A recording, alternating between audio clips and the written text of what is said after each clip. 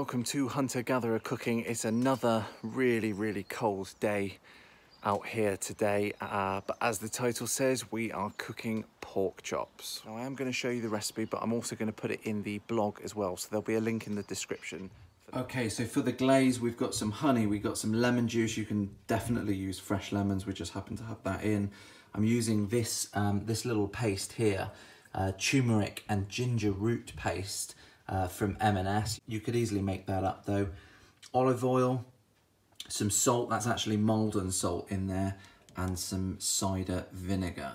And then of course, your pork chops. Now these are the Whoppers from Hill Farm Real Food that they sent me a little while back. So that's defrosted now. They look amazing. Can't wait to try them. Okay, so to start with, you want two tablespoons of olive oil. Right, now you want four tablespoons of runny honey. Right, then you want to put um, basically a whole lemon juice in, but I have a bottle.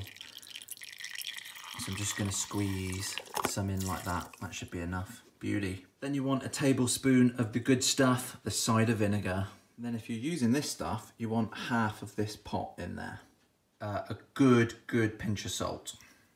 Slowly and carefully mix that up. Then what I like to do is put the pork chops in like a, a shallow dish, like these takeaway things, and then divide that into half and pour it over each. once you've done that, it looks a little bit like that. We're gonna let that uh, sort of sit for a little bit, just making sure that it's sort of covered uh, evenly, flip them over, etc. And then we're gonna cook it. Okay, so I've got the coals on. I'm using the ACH 15 from Big K. I've got the Weber skillet out. It's nice and hot, as you can see. Put a little bit of oil in there, and it's time for the pork to go in. Here we go.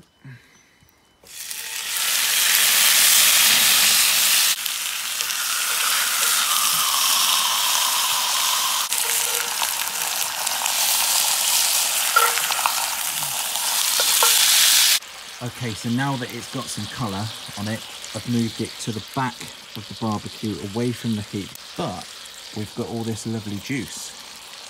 So let's get that.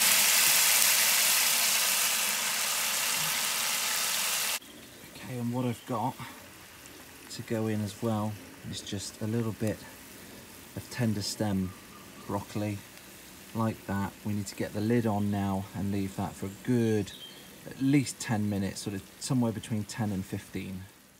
Okay, let's have a quick look. Wow. That's what I'm talking about. I think what I'm gonna do is just roll some of this just round in there.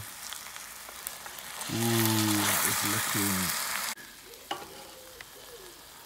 A couple more minutes, I think we'll call time. Okay, let's have a final look. Yeah. That is looking lovely. Let's get that inside, get it plated up.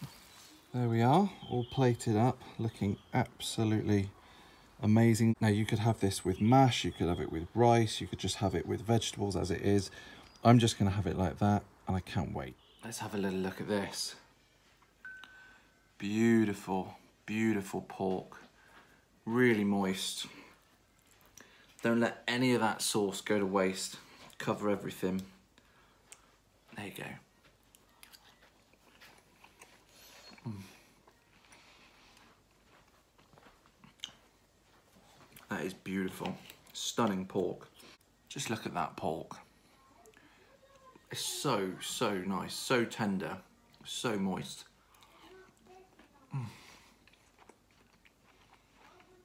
You're going to enjoy this, make this. So that dinner was delish. Easy to make. You could do this at home. You could probably change a million things as well if you want to. Give it a go. Let me know what you think. If you're new to the channel, hit the subscribe button. Ring the notification bell so that you get alerts when the new videos go up. I really appreciate you following and I'll see you soon.